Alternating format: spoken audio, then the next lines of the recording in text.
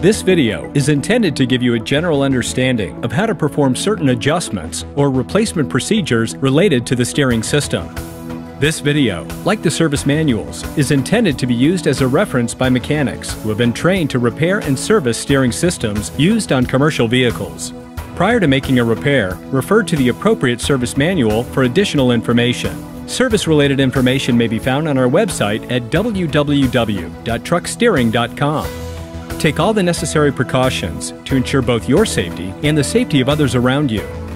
If you are not sure how to perform a procedure, consult your authorized TRW technical representative. While performing this procedure, never strike the tie rod ends, pitman arm, or any other steering system component with a hammer or other such tools. Internal damage to the steering components may result. Do not use a power grease gun because it will supply grease too quickly. This could adversely affect the high pressure seal and contaminate the hydraulic fluid.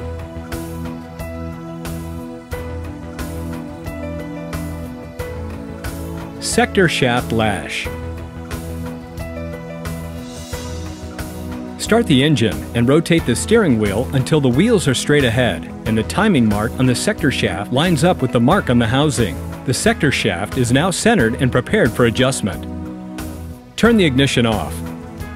Remove the cotter pin and loosen the castle nut on the ball stud. Remove the drag link from the pitman arm. Now, grasp the pitman arm and gently try to rotate it back and forth. If looseness or lash is felt at this point, the sector shaft requires adjustment. Lash Adjustment Procedure Hold the adjusting screw in place and loosen the jam nut.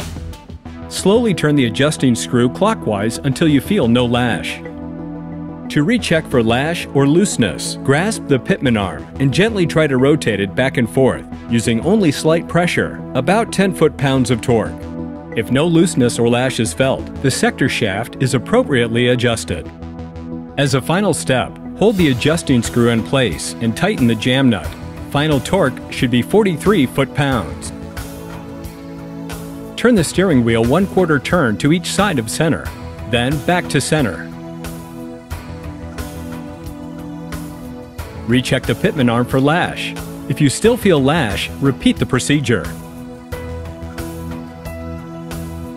Assembly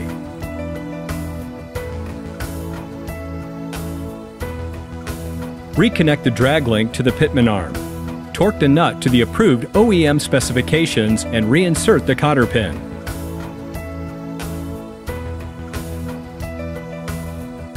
Grease the sector shaft bearing on the gear using a hand grease gun until old grease purges past the dirt and water seal. Inspection If after performing this procedure, there is still lash in the steering system, you need to check all of the following. Start with the steering wheel to column connection. Check for lash in the upper column. Also, check all of the following. U-joints and slip joints. Drag link connections and sockets. Kingpin to axle connections. Tie rod connections and sockets. The steering spindle. Spring to spring pin connectors. Front axle U-bolts. And finally, spring hanger brackets and rear shackles. Also, check the lug nuts and wheel bearings.